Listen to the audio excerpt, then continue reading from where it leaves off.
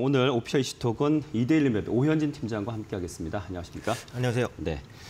오늘은 국민연금 얘기를 좀 다뤄볼까 하는데 네네. 어, 워낙 참 말도 많고 탈도 많고 네. 또 정부가 바뀔수록 또 뭐 어떤 논란들이 생기고 하는 게 국민연금인 것 같아요. 그쪽 음. 정책들에 대해서. 근데 일단은 올해 1분기에 뭐 증상이 워낙 안 좋았는데 역시나 수익률이 좀 마이너스가 됐군요. 네, 네. 맞습니다. 그래서 조금 자세히 한번 살펴보면 네, 네. 어, 국민연금의 1분기 수익률 마이너스를 기록을 했고요. 수치적으로는 네, 마이너스 2.7%를 기록을 했습니다. 그 작년 3년간 연평균 네. 수익률을 보면 한 10% 정도였어요. 음. 그러니까 굉장히 이제 투자를 잘했다라고 네, 네. 말할 수 있는 수준이에요. 근데 1분기에는 수익은커녕 마이너스였으니까 네. 그만큼 어, 기금 운용이 쉽지 않았다라고 음. 보시면 될 것 같고요.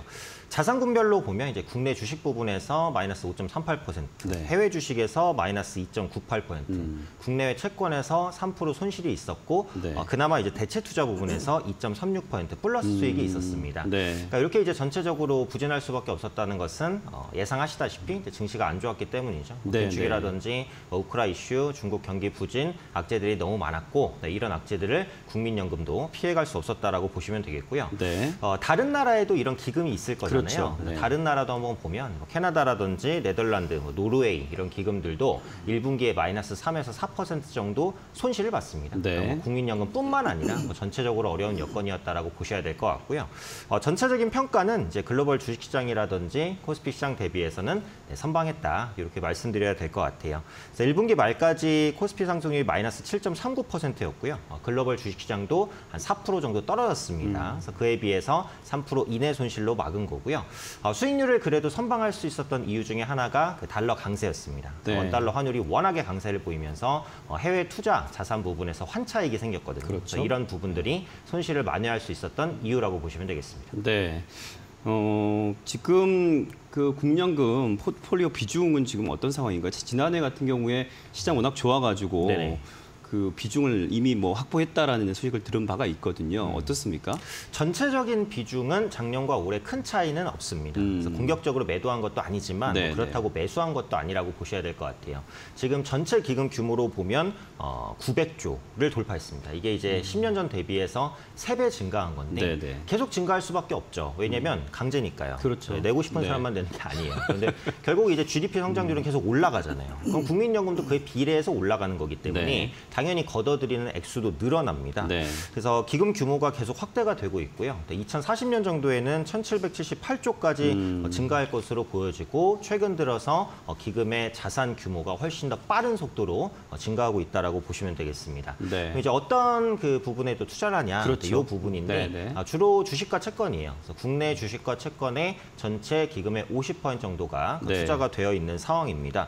또 해외 주식과 해외 채권도 30% 비중을 웃돕니다. 음. 그렇다는 것은 이제 전체 자산의 80에서 85%가 국내외 주식 혹은 국내외 채권으로 구성이 되어 있어서 음. 네, 네. 어, 주식과 채권에 편중돼 있다라고 보시면 될 것 같고요. 어, 주식 중에서는 아무래도 시총 상위 대형주를 많이 담았겠죠. 네. 삼성전자라든지 뭐 어, SK하이닉스, LG화학, 뭐 현대차 어, 이런 대기업군으로 포트가 구성돼 있는데 또 그럴 수밖에 없습니다. 그러니까 네. 작은 규모가 너무 크기 때문에 음. 그러니까 중소형주를 매수해서 수익을 봐도 아, 차익 실현하고 나올 때도 주가가 급락할 수 있어서 네. 어쩔 수 없이 대기업만 담아야 되는 부담이 있고요. 어, 또 면피성 투자도 분명히 있어요. 음. 네. 그러니까 이게 다른 펀드도 마찬가지인데 어, 예를 들어서 시가총액 2천억짜리 종목을 사서 급락했다. 엄청 욕 먹거든요. 그렇죠. 근데 네. 삼성전자나 현대차를 샀는데 급락했다. 네. 이건 용인하는 분위기입니다. 그렇죠. 그래서 네. 어, 이런 이제 면피성 투자도 분명히 대기업밖에 투자할 수밖에 없는 또 이유가 된다라고 보셔야 될 것 같아요. 뭐 또 그렇기도 하지만 뭐 그 국민의 노후 보장을 위한 자금이다 보니 그렇죠. 안정적으로. 네. 투자해야 되겠죠. 맞습니다. 네, 그렇게 봐야 되는데 아까 그 첫 번째 우리 질문하면 답변해 주실 때 아, 왜 이렇게 앞으로의 방침을 잡았구나라가 또 왔어요, 느낌이. 뭐냐면 지금 올해 1분기만 봤을 때도 국내는 적자폭이 좀 큰데 네. 해외 쪽이나 또 대체 투자 쪽에서 오히려 수익이 좀 나서 네. 좀 선방한 부분이 있었지 않습니까? 맞습니다. 이 부분은 이제 좀 앞으로 정책화하는 것 같아요 보니까 그렇죠? 그렇죠. 네. 그래서 이제 이 주제를 지금 살펴봐야 되는 네, 네, 이유기도 한데 얼마 전에 그 중기 자산 배분안이 나왔어요. 음, 음, 이게 네. 5년마다 한 번씩 나오는 거기 때문에 굉장히 큰 흐름에서의 전략이라고 보시면 돼요. 네. 그러니까 5년마다 한 번씩 계획을 다시 설정을 하는 거죠. 그렇죠. 그래서 이번에 나온 내용을 구체적으로 보면 그 국민연금이 향후 5년간 내 목표 수익률을 5.4%로 설정을 했는데 어, 제가 볼 때는 좀 객관적인 수익률인 것 같습니다. 네, 너무 네. 높, 지도 않고 너무 낮지도 않고 네. 적당히 어, 할수 있는 수익률 정도다라고 판단하고요.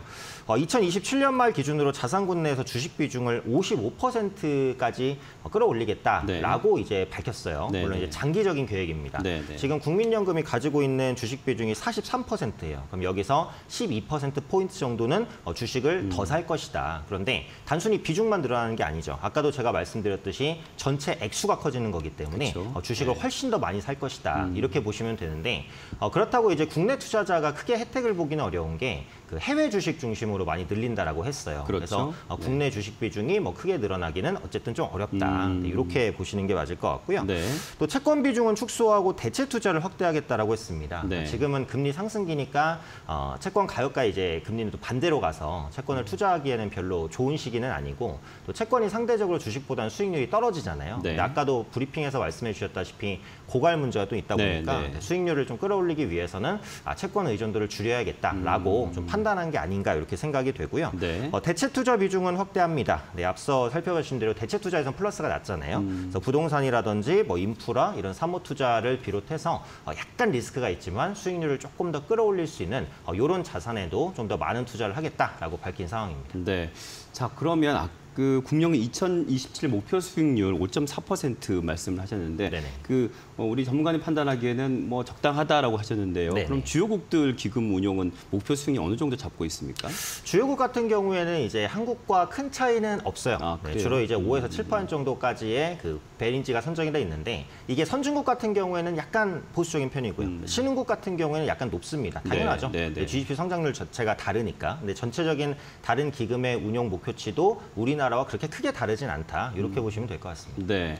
자, 그런데 아까 지금 좀 전에 말씀하신 내용 중에도 아마 여러분 느끼셨겠지만 어, 이렇게 해외 투자 비중 높이면 그러면 국내 주식 그러면 좀 줄이면 어, 우리 증시 투자 좀 더 악재가 아닐까? 또 이런 생각도 하실 것 같아요. 그렇죠. 그래서 결론적으로는 이제 연기금에 기댈 부분은 어, 증시 측면에서는 별로 없다. 어, 이렇게 보셔야 돼요. 그러니까 예전에는 증시가 하락할 때 연기금이 약간 뭐 소방수 역할을 한다 그렇죠. 이러면서 네, 하락할 네. 때마다 뭐 매수를 강력하게 네, 하고 네. 시장 받치 고 이런 흐름이었는데 그 작년에 그 있었던 뭐 주식 화랑기에도 그렇고 최근에 있었던 시장 폭락기에도 연기금이 국내 주식을 적극적으로 사지는 않았습니다. 네. 앞으로 연기금도 철저히 수익률만 보고 움직일 것이지 뭐 시장이 떨어진다고 해서 이걸 방어하고 이런 역할을 안 할 거라는 거예요. 음. 네. 그래서 이런 기대감을 일단 좀 낮춰서 보시는 게 맞고요. 네. 다음에 국민연금이 많이 가지고 있는 종목을 또 어떻게 볼 것이냐 네. 이 부분인데 네. 일단 안정성은 있다라고 보셔도 되겠죠. 음. 아까 말씀해 주신 대로 연금으로 지급을 해야 되는 자 금이니까 함부로 굴릴 수는 없습니다. 음. 네. 그래서 국민연금의 투자 비중이 한 7에서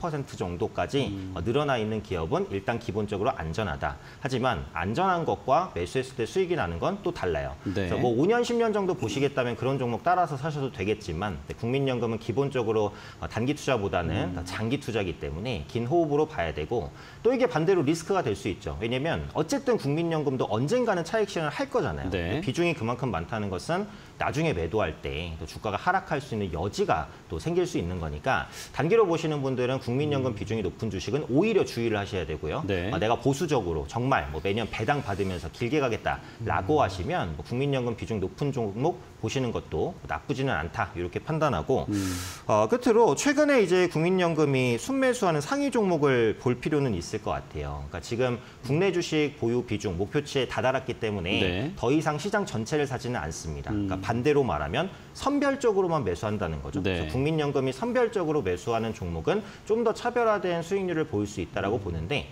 최근에 순매수 상위 종목을 보니까 어, LG 에너지 솔루션이나 LG 화학, H&M, 페노션 어, 공통점을 보면 2차 전지 관련주 아니면 호실적이 기대되는 종목 이두 섹터에 조금 이제 편중돼 있는 느낌이 들더라고요. 네. 그래서 앞으로 이런 종목들은 어, 연기금의 수급이 계속 들어올 수 있으니까 한번 관심 있게 보실 수 있지 않을까 판단됩니다. 어, 그런데 저는 또 이제 지금 여쭤보고 싶은 게 생겼어요. 그 목표 수익률이라는 게 사실 목표잖아요. 그렇죠. 현실이 그렇게 될지 않을지는 봐야 되는 건데 네, 맞습니다. 지금 글로벌 증시 상황이 그렇게 썩 좋지 않은 분위기고 경기 침체 우려까지 더해지는 상황인데 음. 네. 이 수익률을 과연 낼 수 있을까? 그리고 더군다나 GDP 성장률에 따라서 기금이 많아진다고 하지만 음. 기금을 운영하는 데 있어서 그 규모는 점점 낼 사람들은 분명히 줄어들 것이고 그렇죠. 이런 어떤 그 상충되는 부분들을 음. 한 차치 잡아가야 될 텐데 글쎄요 이 목표 수익률 5% 그리고 지금의 어떤 논란들 어, 좀 난제가 많은 것 같은데요. 네. 이게 원래 목표라는 것은 음. 약간 높게 설정해야 되기는 하거든요. 그래야지 조금 더 예. 어, 적극적으로 수익률을 그 달성하려고 노력할 것이고 만약에 이게 아니고 한 4%라고 가정을 해볼게요. 그래요? 네. 지금 소비자 물가도 4% 올라갑니다. 음. 거의 남는 거 없거든요. 네, 네. 그래서 이런 정도의 운용 수익률로는 어, 투자라고 보기엔 좀 어렵기 때문에 음. 아마 고민해서 낸 수익률일 것이다라는 부분이고 네. 아까도 제가 말씀드렸듯이 작년 3개년간 연평균 수익률이 10%였습니다. 그래요. 네. 음. 거기에서 이제 절반 정도는 어쨌든 낮춘 거니까 그래도 저는 어, 노력하면 달성할 수 있는 수익률 네, 그 정도로는 보고 싶습니다.